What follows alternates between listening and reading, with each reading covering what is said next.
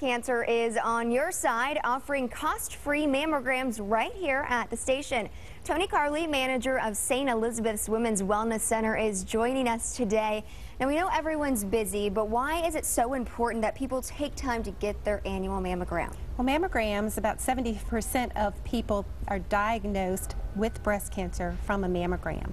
So it's very important to get your mammogram. Plus, the earlier you can detect a breast cancer, the easier it is to treat it and your outcomes are going to be so much better.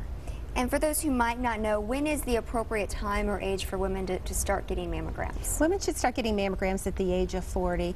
And there's also other steps that women can take as well as doing monthly breast self-exam checks, looking to see if there's any changes, if there's any lumps or bumps that they feel. And then also every year they should go see a healthcare provider and have a clinical breast exam done.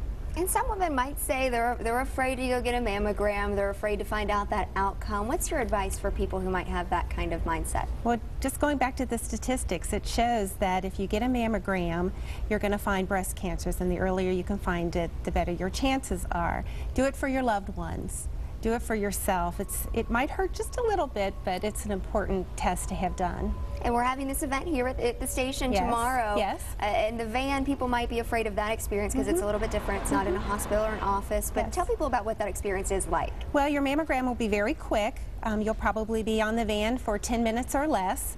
And um, we'll have two vans here. And um, it is just a slight little pinch, and that's it. All right. Well, you can see video right now of, of when our van was here last time outside. Very easy experience, yes. very comfortable. I've been in that van before. Well, we thank you so much for joining us. And again, the mammogram thank van you. will be here at our station tomorrow from 11 to 7. Walk-ins are welcome, but you can also make an appointment. We have more information on WCPO.com.